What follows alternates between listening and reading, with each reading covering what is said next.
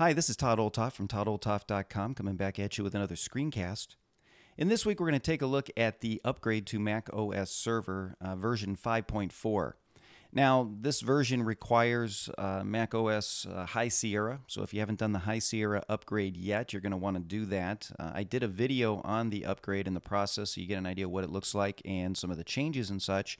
And so you can just uh, click the link up in the upper right hand corner uh, that's been up there and uh, just go to that video and do the upgrade first. Uh, other than that, uh, a couple things I want to say before I do show you the upgrade. Uh, number one, things have changed uh, in this version, so there's been some things that have been moved out of server and moved around a little bit.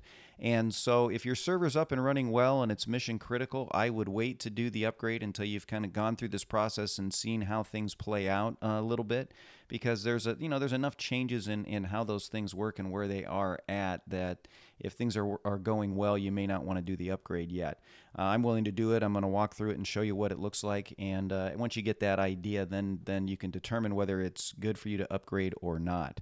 So this is the up, update, and again, it's a uh, you know normally it's a 1990 uh, $19.99 uh, price, uh, but if you've already got Mac OS Server 5, it's a free update. And so I've already done run the uh, install and the update. So now we're just going to go ahead and open it for the first time. Again, once you do the High Sierra update, your server will be turned off and all of its services. So you'll want to quickly do the macOS server update to 5.4 or your server's not running. So let's go ahead and open this for the first time. And I'm going to go ahead and just put this down here. And so what we're going to do is choose a Mac. We're going to choose this particular Mac server. We're going to say continue. It's going to ask us to agree with the software license. I'm going to go ahead and do that. And then it's going to ask me to authenticate. So let me put in my password information. Okay, and once I have that in, I'm going to click on Allow. And so now it's going to start uh, the upgrade process. And so, you know, depending on your system, uh, it might take longer than than others. Sometimes it's short, but uh, we're going to go ahead and let this run. Nice thing is down here, it kind of tells you what it's doing as it's doing the update. Uh, see, it's updating web services, it's updating all of the different things that you have in the server. And so, like it says, it might take several minutes uh, as it's updating different components. And you'll notice that on some of these, it takes a little bit longer to go to the next one. Uh, but we're going to go ahead and let this run so that you get an idea of how this works. And then I will uh, show you what it looks like as soon as it launches into the application. Okay, so here we are with the application launched. And so this is server 5.4.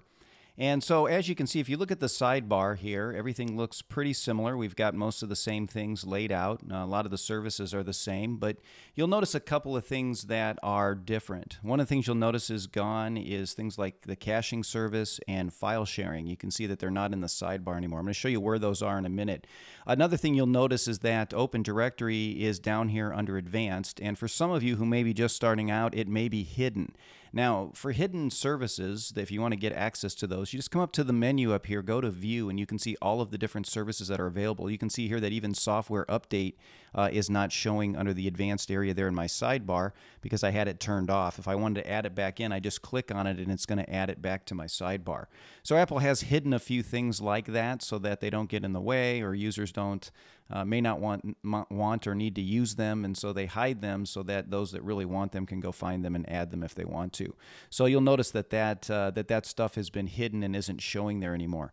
Uh, otherwise, everything else is pretty much the same as before. Now, let me show you where a couple of the services are that are missing, such as file sharing and the caching service and all of that, uh, as well as Time Machine. You'll notice that Time Machine is gone.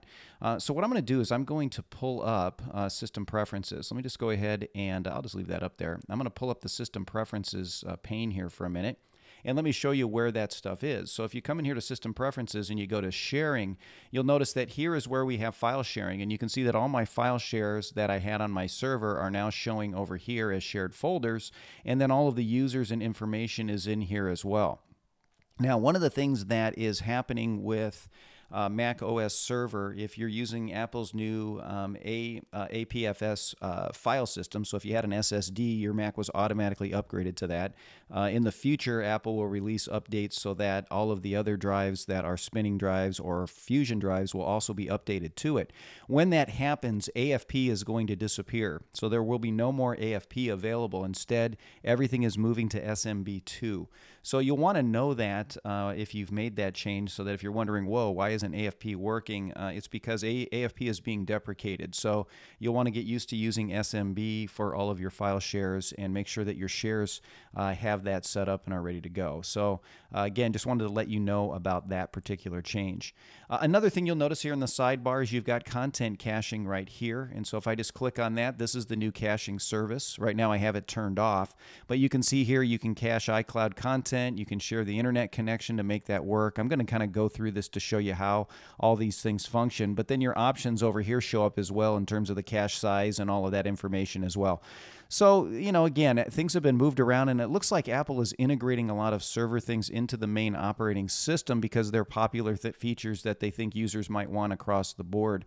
Uh, again, if we go into Time Machine, all the Time Machine stuff now is sitting under Time Machine itself, and so you should be able to select the backup disk and have those backups happen over the network uh, by doing that. But I'm, I'm going to go through and do a screencast to show you how this works and functions as well. But as you can see, a number of things have moved out of the server application and into system preferences. And so I'm going to go through the changes in future screencasts to show you how it works, but you may want to hold off because we don't know how those things work yet, and I want to make sure everything functions well. So hopefully that gives you an idea of the uh, server upgrades. You know what you're getting into, and I'll come back, like I said, and do a series on it so you know all the different features. So that's all I have for this week. I'll be back at you next week with another screencast to help you learn how to do more things with your Mac.